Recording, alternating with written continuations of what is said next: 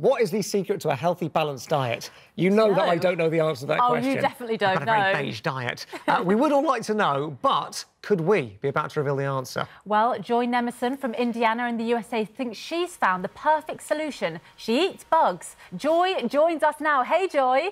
Hey guys, how are you doing? We're really well. We're so intrigued by the fact that you eat bugs, and I want to know what was your first bug, when did you have it, and why? It's a great question. Um, so my first bug was actually a cricket flour tortilla chip. Um, so it looks like a regular tortilla chip, smells like it, tastes like it. Um, so it was a really easy way to start eating bugs. So Joy, what surprises me is that you you used to be a really fussy eater, and now you've gone from that into into eating bugs. How did that sort of change?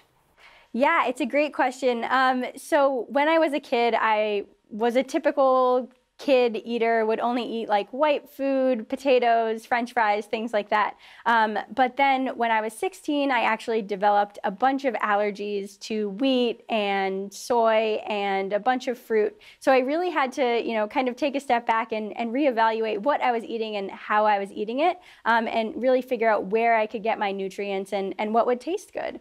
When you mentioned the tortillas there, you were saying it's a it's a flour that's ground down from crickets. I, I was kind of imagining Bush Tucker trial style. It's like, ah, just shoveling stuff from the garden in. Yeah. Are you actually eating a bug that looks like a bug, or is all of it getting ground down or mashed up or whatever?